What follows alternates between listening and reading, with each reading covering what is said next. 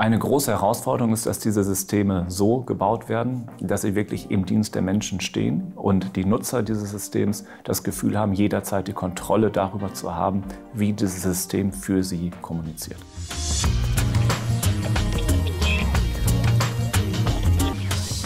Ja, das äh, kann man ja auf zwei Arten interpretieren. Man kann fragen, werden wir noch verstehen, was denn äh, KI wissen wird oder was KI können wird?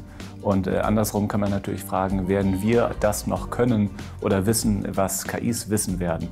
Und ich glaube, dass wir wahrscheinlich beide Fragen verneinen müssen. Ich glaube, dass in nicht allzu ferner Zukunft es sehr schwierig sein wird, nachzuvollziehen, was KIs wissen und können und wahrscheinlich diese auch mehr wissen und können als wir, zumindest in vielen Bereichen. Menschen äh, mit äh, Sprachbehinderung sind häufig auch nicht mehr in der Lage, ähm, Sprache äh, vollständig zu verstehen und Sprache zu generieren.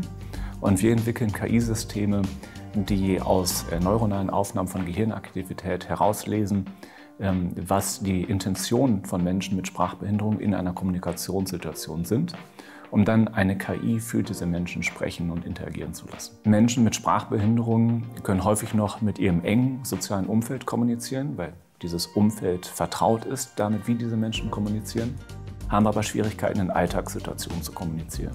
Und wir erhoffen uns, dass unsere Systeme diesen Menschen in der Zukunft helfen werden, auch im Alltag und am Alltag wieder mehr teilnehmen zu können. Ich verwende KI bereits in vielfältigen Bereichen, nicht zuletzt in der Programmierung. KIs können ganz hervorragend programmieren und sind als wirklich Interaktionspartner im Schreiben von Computerprogrammen enorm hilfreich.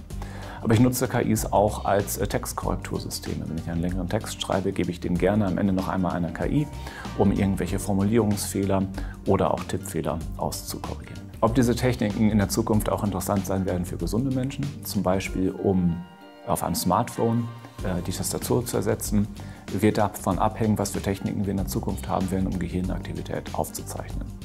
Äh, derzeit äh, ist es schwierig, mit nicht-invasiven Techniken so ein System zu steuern. Und damit so etwas für gesunde Menschen auch interessant wird, bräuchten wir noch eine Revolution in der Technik, wie Gehirnaktivität nicht invasiv im Alltag aufgezeichnet werden kann.